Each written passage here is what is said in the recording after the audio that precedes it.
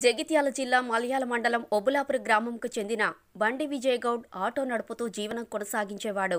ప్రమాదవశాత్తు ప్రమాదంలో మరణించగా వారి భార్య పిల్లలు కష్టాల్లో ఉండగా వారికి గౌడ కులస్తులు పదివేల రూపాయల నగదు యాభై కేజీల బియ్యం ఒక నెలకు సరిపడా నిత్యవసర వస్తువులు కొనివ్వడం జరిగింది. ఈ కార్యక్రమంలో గౌడ జనహక్కుల పోరాట సమితి మోకుదెబ్బ జగిత్యాల జిల్లా అధ్యక్షులు ఒల్లాల మనోజ్ గౌడ్ న్యాయ సలహాదారుడు కొత్తకొండ ధీరజ్ గౌడ్ పట్టణ అధ్యక్షుడు కొత్తకొండ తిరుపతి గౌడ్ జిల్లా గౌడ నాయకులు కొత్తకొండ రాజేష్ గౌడ్ బండి రవి గౌడ్ బండి నితీష్ గౌడ్ బండి అశోక్ గౌడ్ మహేష్ గౌడ్ రాము గౌడ్ రాకేష్ గౌడ్ బుర్ర నరేష్ కట్టపెద్దులు తిరుపతి నవీన్ మహేష్ సత్యవినేష్ మహిపాల్ రాకేష్ తదితరులు పాల్గొన్నారు.